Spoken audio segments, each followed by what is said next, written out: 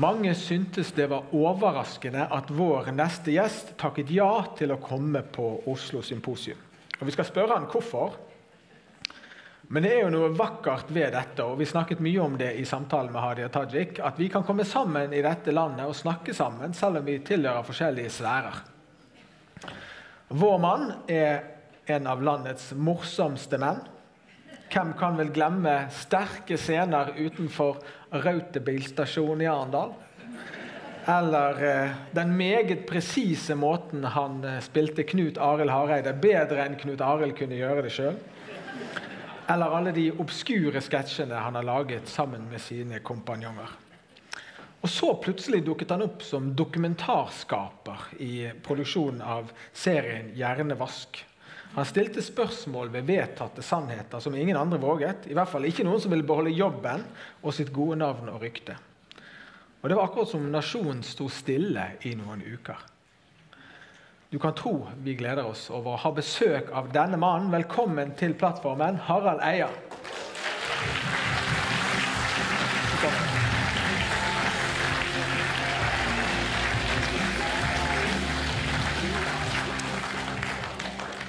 Når jeg spurte deg om å komme hit, Harald, så hadde du ingen forbehold. Du bare sa ja. Ja, Hvorfor gjør du det? jeg er nysgjerrig. jeg er mer nysgjerrig på dere egentlig enn på hva jeg mener. Men uh, jeg syns det er spennende og interessant. Jeg synes det er spennende det som på en måte har skjedd med kristne i Norge. Fra å være en sånn majoritet som hvor alle trodde på Gud, og alle forholdt seg til Bibelen som autoritet, til at dere har på en måte blitt en slags minoritet. Så det er jeg nysgjerrig på.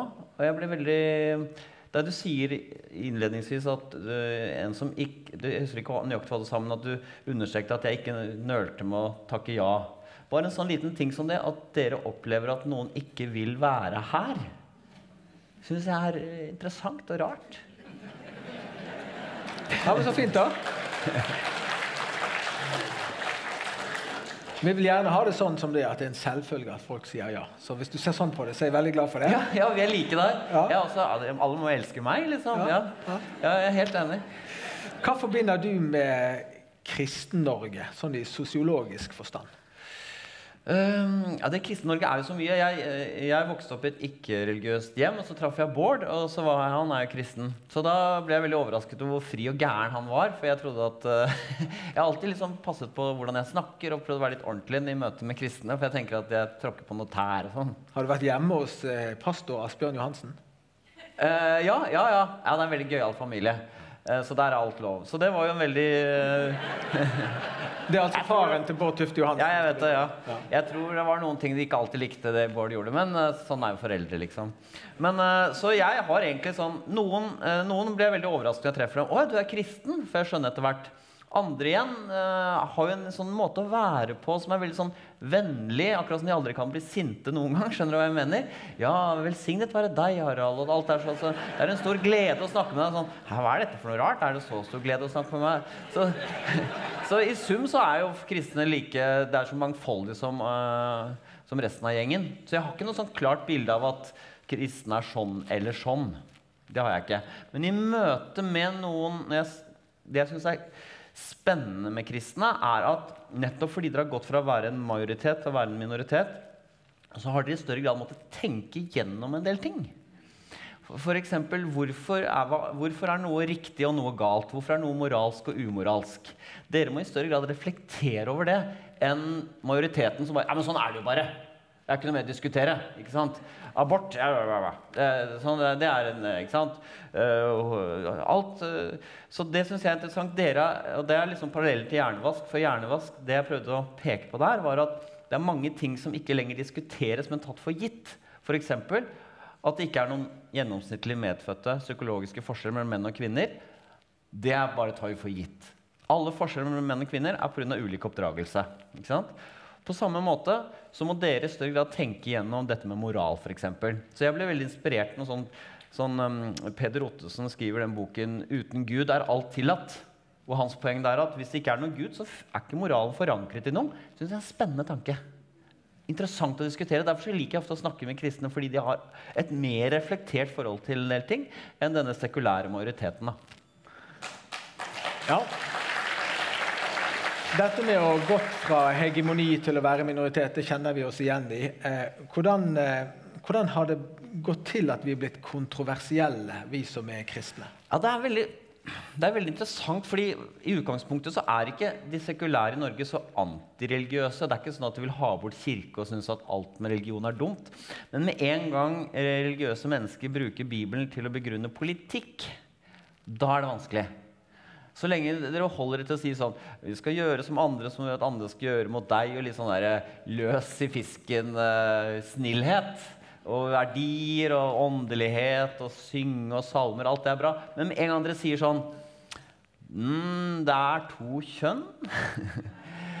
og det skal være en familie. Det er på en måte idealet. Mann og kvinne hører sammen. Man skal ikke uh, fjerne et foster. ikke sant? Begynn med de greiene der. Da reagerer folk veldig. Ikke blande inn kristen tro i politiske spørsmål. Hold dere til de der hyggelige, uforpliktende greiene. Du har jo jobbet litt med det. Hvor mange kjønn har du kommet frem til? at det er? Jeg har landa på null. Nei, jeg er jo jeg, eh, jeg, så akkurat en spørreundersøkelse. Flertallet i Norge mener at det er to kjønn. Så det er bare tull at det er kontroversielt å hevde at det er to kjønn. Så Kjønn Ja, jeg tenker at det er to kjønn, da, men jeg skjønner at uh, for noen så er det veldig sårende. Så det er ikke min fanesak, akkurat. Jeg kan godt si hen og de og alt mulig, jeg. Uh, men uh, jeg er opptatt av vitenskap, så um, hvis det blir veldig uvitenskapelig, så det, Nei, nå gidder jeg ikke være med på politisk korrekthet lenger. Å gå en grense. ja. ja. Hvordan hvordan vil du si at Norge fortsatt er preget av kristne verdier? Ja, Det er et godt spørsmål. Er det sånn at også jeg, som ikke tror, er faktisk preget av det? Det kan jo tenkes, det. Eh, at eh, humanitære verdier, eh, vanlige sekulære humanitære verdier, sånn som det er i menneskerettighetene og sånn, er jo ikke, er ikke helt ulikt det som står i Bibelen. Så det, det, er jo et åpent spørsmål. Er det sånn at disse verdiene blir liksom funnet opp på nytt i opplysningstiden, eller er det en arv fra fortiden? Og det, Jeg kan ikke nok til å vite, vite om det. Men det er noen steder det er et hvor de er tydelig ikke-kristenhet, eller noe tydelig ikke-religiøst over moderne verdier. Og det er f.eks. sånne ting som at jeg diskuterte backstage her med en dame som er med i en sånn organisasjon som heter Tilbake til livet. Eller, Velg livet. Velg livet som skal opp, hjelpe kvinner som er gravide, med å ikke ta abort. Og da er fordi livet er hellig. For meg så er ikke livet hellig. Eh, jeg har hatt en sønn, fikk en sønn som var veldig syk. Eh, levde i åtte uker mm, før han døde. Og det jeg så da, så hans smerte og sånn. Uh, og da, etter at han døde, så uh, vi skulle fått nytt barn, så må vi ta en gentest for å se om dette barnet neste barn har samme sykdom. Og hvis det barnet hadde hatt den sykdommen, så hadde vi villet avslutte det. Fordi i min, min, bok så er det et regnestykke hvor det er så mye lidelse og smerte og sykdom og ubehag at det teller mer enn dette prinsippet om at livet er hellig. Så der, der tenker jeg, her, her, foregår det, her er det noe friksjon da, mellom hvordan jeg ser på ting. Så sånn sett er den mine verdier annerledes enn den kristne kulturarven. Fordi jeg ikke anser livet som hellig, men jeg har et annet slags måte å tenke på hvor det er en smerte og lykke og ubehag-regnestykke på siden der. Skjønner du? Mm, ja visst. Du er sosiolog. Ja. Hva er det ved det faget som interesserer deg? det, er, det, er, fordi uh, vi mennesker er jo hypersosiale. Vi lever i grupper. Vi er ikke individer som, vi er ikke som Rambo, som klarer oss alene. Vi klarer oss sammen med andre. Så sosiologi og psykologi er jo et, om hvert enkelt individ, men sosiologi er hvordan vi organiserer oss for å få til et samfunn sammen. Er det mulig å få til et um, samfunn hvor storfamiliene ikke dominerer? Ja, det er det faktisk. Norge i dag var velferdsstaten tatt over mange av storfamiliens funksjoner. Hvilke effekter har det på oss? Gjør det oss mer ensomme? At det er uh, velferdsstaten skal ta seg av de gamle og ikke barna? Sånne ting syns jeg er interessant. da. Hvordan vi organiserer, ordner oss for å få til dette livet sammen, som vi er dømt til å gjøre. Vår art er dømt til å leve sammen. Så det er så mange måter å gjøre det på. Så er det noen måter som ikke går. Vi ble snakk om kommunismen her, ikke sant? Da har man en tanke om at alle mennesker skal yte etter evne og få etter behov. Det høres så flott ut. Det viser at det ikke funker helt sånn. Det er ikke mulig å få det til. Og det syns jeg er interessant. da. En av eh, ja, jeg er helt enig med deg. En av de som eh, er fedrene til det faget ditt, eh, Emilie Dyrkheim, han, Ja. Han beklaget seg over at religion, eller troen, som kristendommen, som det da gjaldt, at den var på retur. Eh, når han sjøl var ateist. Ja. Hva tanker gjør, gjør du deg om det? Ja, det, det, er, det, er en, eh, det er en del uh, smarte mennesker som har det ståstedet. Jeg tror ikke selv, men vi trenger religion. så det er eh, og det er Espen Ottesen sier også. Uten religion så rakner det. Det ser jo per i dag ut som om et sekulært Norge Det går jo ganske bra, da. Jeg vil jo si det, da. Det er ikke sånn at det holder på å rakne akkurat. Enn så lenge. Ja, da kan du alltid si ja, det gikk i år.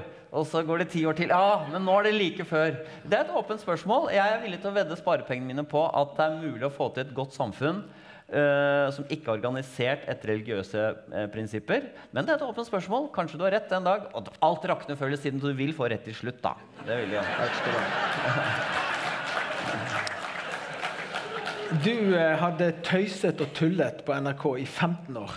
Ja. Eh, og så eh, kom denne ideen om hjernevask, eh, som ble en serie. Hva var det som gjorde at du ville begi deg ut i det der?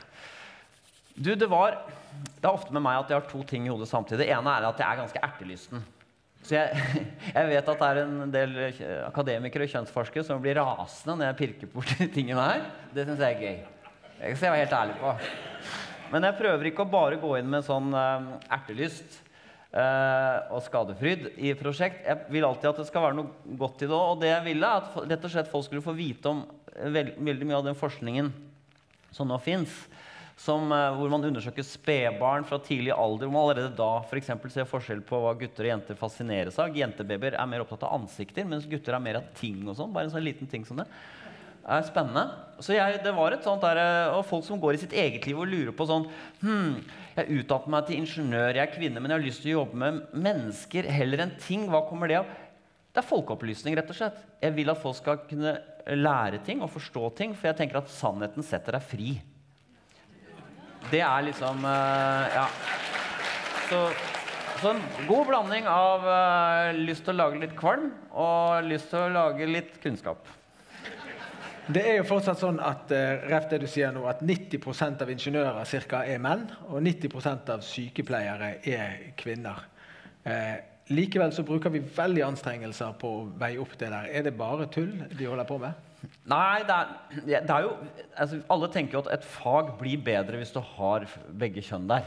Altså, alle vet det på jobben. Det er, det er ikke sånn at når masse gutter, så er det sånn Det blir kjempebra, liksom. Det er best at det er begge. Så jeg liker å sympatisere med forsøk på å rekruttere uh, flere kvinner uh, inn i det. Uh, og så skal man jo også vite at det er nok ikke sånn at i et, i et fritt samfunn er det ikke 50-50 kvinner-menn på alle fag. vil vi ha Vi kan presse enda mer og favorisere og gi ekstrapoeng for et kjønn enda mer. Og så vil vi til slutt klare å få kjønnsbalanse. Men vi vil jo ikke helt dit, for da tror jeg de fleste føler at det blir urettferdig. Uh, og sånn, så men f.eks. psykologer nå, det er nesten bare kvinnelige psykologer som utdannes. Jeg syns jo ikke det er bra. Jeg vil jo gjerne ha flere menn inn der. Så jeg syns vi skal gjøre noe med det. Ikke, ikke, gi, ikke, jeg syns ikke bare gi opp. Ah, kvinner og menn er forskjellige. Det er ikke å gjøre noen ting med. Menn kan bli mer involvert i å ta vare på barna, selv om kvinner i snitt er litt mer interessert i babyer enn menn. Skjønner du? Så jeg vil, jeg som pappa har hatt veldig godt av å bli presset litt inn og ta pappaperm, f.eks. Så jeg er jo sosialdemokrat. Jeg liker, jeg syns ikke vi bare skal la naturlige tendenser få utvikle seg. Jeg synes vi skal presse litt på. Men det går en annen grense, og det får vi diskutere alle sammen. hvor langt vi skal gå. Tilbake til hjernevask. Eh, Det ble et veldig oppstyr eh, når du laget den. Eh, Hva tenker du om de reaksjonene som kom? Og for de som ikke kjenner den, de tingene der, det handlet jo mye om kjønnsforskning og biologi. og Er vi skapt sånn, eller, eller er vi født sånn, eller er vi blitt sånn? Altså arv og miljø. Og du pirket borti kjønnsforskning. Det skal man jo ikke gjøre, men du gjorde det. Og så ble det veldig reaksjoner. Hva syns du om de? Jeg synes det var, det som jeg synes ubehagelig ved det, er at de gjorde de, En del av mine kritikere, ikke alle, men en del av mine kritikere eh, ga meg et sånt høyrevridd stempel. eh, om at jeg er langt ute på høyresiden fordi jeg mener at det fins noen medfødte forskjeller. Eh, og det syns jeg, jeg er uredelig ubehagelig, for jeg vil nettopp at jeg vil liksom diskutere dette litt. Kan vi ikke bare se på fakta? på en måte? Istedenfor at vi har stemplet det ene som det andre.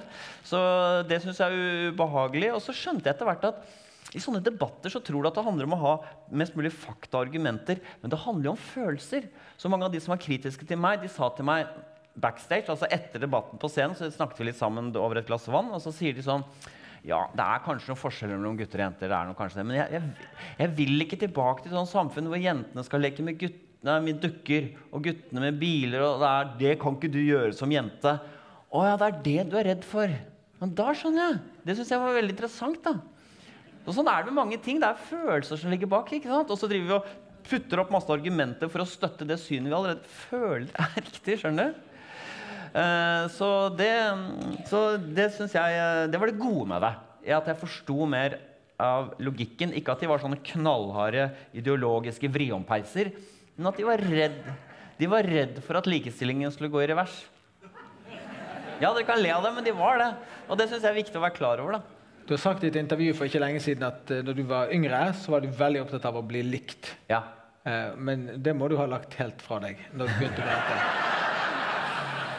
Ja, det rare er at jeg blir fryktelig lei meg når folk blir sinte på meg. For jeg føler alt jeg, jeg, går, Akkurat som vi snakket med i begynnelsen, du tenker at alle har lyst til å møte deg. Og, så. og jeg tenker at når jeg gjør noe bøll, så tenker jeg at folk vil Jeg vil at de skal like meg likevel. Så, så det går ikke opp. Livet mitt går ikke opp. Eh, sånn sett. Men jeg vil gjerne det jeg vil. Eller at alle skal like meg, selv om jeg er eh, litt sånn vanskelig innimellom.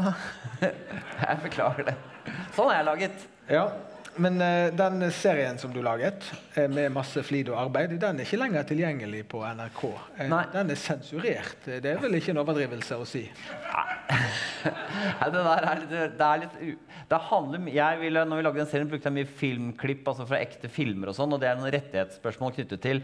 Jeg, NRK kan si mye stygt om NRK, men de, de, så, så redde er de ikke. Altså, det handler om rettighetsspørsmål, men det florerer mye teorier, og jeg har selv lurt på det. Eh, noe av det handler også om at eh, noen av de som var med, fikk så mye kritikk at de, de gikk ut på deres øh, psykiske helse. Og da tar man hensyn til det. Hvis man da sier 'husk på, folk har tatt livet sitt etter å ha blitt hengt ut i mediene før'. Eh, vet ikke hva som kan skje denne gangen. liksom. Og da sier NRK sånn vi skal ikke ha noe liv på samvittigheten. Så det, det er mange sånne ting sammen. da. Det hadde vært fint om de tenkte det om en del eh, kristne som har blitt omtalt i mediene deres også. Ja, for de har blitt kjørt såpass, tenker ja. du? Ja. ja. Nei, øh, ja, ja. Men kanskje de tenker at nei, de tror på Gud, så de tar vel ikke livet av seg. Sånn. Men uh, hjernevask den kan du se på YouTube. Ja da, så ute. Den ligger ute, så det er håp for de som ikke har sett den. Uh, jeg prøver meg på en liten tanke her helt til slutt, uh, Harald. Du gjorde dette fordi at du er opptatt av hva som er sant, og hva som er objektivt riktig. Mer enn å være populær, selv om du ønsker å være det, sånn som oss alle. Eh, og det er jo vi også. Vi skulle jo veldig gjerne eh, spilt på lag med alle som eh, er rundt oss, men så er det noen ting vi tror på som er viktig for oss. Heldig om du vil. Mm. Eh, er det et slektskap her mellom Harald Eia og kristenfolket? Ja, dere vil både bli likt, men fortsatt vil ikke legge fra dere Bibelen helt, nei. nei. Vi vil heller dø. Ja, det skjønner jeg. Ja, det, er, det står en liten, liten spagat der, ja, kanskje. Ja, fordi Med en gang dere virkelig sier det dere mener, så reagerer folk. ikke sant? Uh, ja, la oss si abortspørsmålet. Det folk vil ikke helt høre på de tingene. Det er så ubehagelig. Det er en form for drap. Nei, drap! Man får gi deg, liksom. Man, uh, så uh, jeg har ikke noe godt råd. Det jeg, synes, det jeg liker ved dere, da, jeg er jo rar, det er nettopp det at det utfordrer va vanetenkning. Og det vi tar for gitt, det syns jeg er spennende. Men folkedypet syns ikke det er noe spennende. De vil fortsette, å eller mange syns det, men veldig mange syns det er ubehagelig òg. Så den der balansegangen uh, Norske kirke er jo veldig sånn der, det var ikke måte på hvor liksom woke det er, da, med miljø og 150 kjønn, og det tar liksom ikke slutt. så, uh, og da føles det litt sånn der du, Hvem er det som kan elske det greiene? For det er så åpenbart et lyst til å bli øh, omfavnet og, og, feiret. da. Litt for mye av likt, ønsket om å bli likt. Vet du hva, så Jeg har ikke noe godt svar. Men det er den balansegangen mellom å stå på deres og være litt greie. Men jeg syns dere fremstår som utrolig nesten umenneskelig tålmodige og sympatiske. Det syns jeg, jo. Og det er jo fantastisk. Jeg tror vi lar det være siste ja. ordet Jeg har det, ja. Tusen takk for at du ville komme. Tusen takk.